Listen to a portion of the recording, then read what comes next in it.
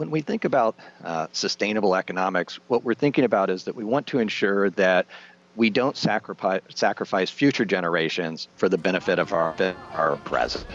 But we also want to make sure that people today are able to lead healthy lives. And so there is a bit of a tension there. Uh, you know, as you mentioned, there are 870 million people that are going to bed hungry today, and yet the impact of agriculture on the planet is tremendous. And so we, we have this challenge of how do we sustainably and nutritiously feed the people that we have and reduce that environmental footprint. And really the only way that we're going to be able to, you know, thread that needle is through innovation and technology. So I would imagine the challenge is twinfold. You have to provide, uh, as you point out, nutritious food for people, but do it, on the other hand, in a sustainable way.